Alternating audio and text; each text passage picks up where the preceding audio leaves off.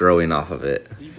There's one complete one with the roll cage, and then next to it was a completely disassembled one that had almost no parts.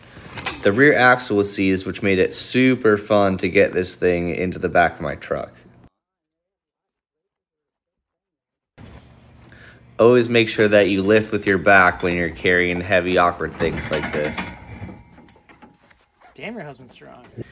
I was super glad that I brought a friend to help because I definitely would not have been able to get this thing in my truck without help.